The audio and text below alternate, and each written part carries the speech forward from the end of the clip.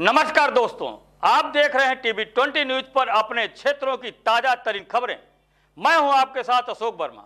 देखते रहिए TV twenty news, बने रहिए हमारे साथ। खबर आजमगढ़ से है, जहाँ उत्तर प्रदेश महिला संघ द्वारा पुरानी पेंशन का लाभ पुनः प्राप्त करने के लिए हस्ताक्षर के माध्यम से किया गया जन समर्थन। आपको बता दें, अभियान के चौथे दिन आज 24 सितंबर जिला कार्यकारिणी के उपाध्यक्ष शालिनी राय एवं ठेकमा ब्लॉक महामंत्री रेखा सिंह द्वारा उनके टीम ठेकमा ब्लॉक के खंड शिक्षा अधिकारी संतोष तिवारी तथा फूल खंड फूलपुर खंड शिक्षा अधिकारी राजीव यादव से तथा अन्य शिक्षक शिक्षिकाओं से संगठन के निर्धारित प्रपत्र पर हस्ताक्षर कराकर पुरानी पेंशन के पक्ष में समर्थन प्राप्त किया गया। आपको बता दें कोलसा ब्लॉक के अध्यक्ष निधि श्रीवास्तव व उनकी ब्लॉक कार्यकारिणी ने कोलसा ब्लॉक की खंड शिक्षा अधिकारी सुश्री श्वेता मौर्य व अन्य से हस्ताक्षर करा के पुरानी पेंशन हेतु समर्थन जुटाए। इसी क्रम में जिला उपाध्यक्ष सुमी अथर व संगठन मंत्री अंजू राय ने अपने ब्लॉक के कई विद्यालयों, शिक्षक, शिक्षिकाओं से हस्ताक्षर कराया। तो वहीं अतरौलिया में भी ब्लॉक अध्यक्ष सीमा गौतम और उनकी कार्यकारिणी ने अटेवा जिलाध्यक्ष सुभाष यादव एवं अटेवा के अन्य पदाधिकारियों से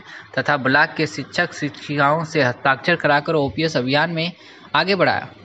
पलनी ब्लॉक महामंत्री पूनम मिश्रा, जिला महामंत्री अशु अस्थाना तथा संरक्षक सरोज यादव के अपने पलनी पलनी ब्लॉक के विभिन्न विद्यालयों में जाकर शिक्षक, शिक्षिकाओं से संपर्क कर हस्ताक्षर अभियान को तेज रफ्तार दी तो वहीं बिलरियागंज संगठन मंत्री मालती यादव ने बिलरियागंज में पेंशन के पक्ष में हस्ताक्षर अभियान को धार दी।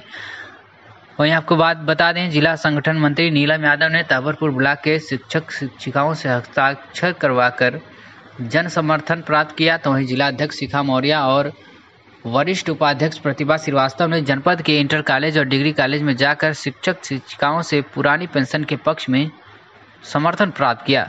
जिलाध्यक्ष शिखा मौर्य द्वारा 2 अक्टूबर को प्रस्तावित शांति मार्च पदयात्रा में भी प्रतिभाग के लिए सभी शिक्षक, शिक्षिकाओं तथा शिक्षणेतर कर्मचारियों को आह्वान भी किया गया।